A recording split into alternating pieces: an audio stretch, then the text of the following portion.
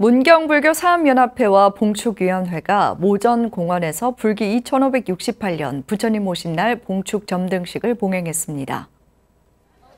점등식에는 문경불교 사암연합회장 상호 스님, 봉암사 주지 진범 스님, 대승사 주지 일균 스님, 신윤교 문경불교 신도회장, 신현국 문경시장, 황재용 시의회 의장, 이미자 국회의원 등이 참석했습니다.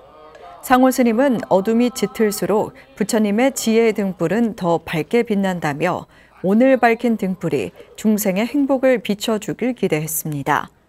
문경불교 사암연합회는 다음 달 11일 모전공원에서 부처님 오신 날 봉축 법요식을 봉행할 예정입니다.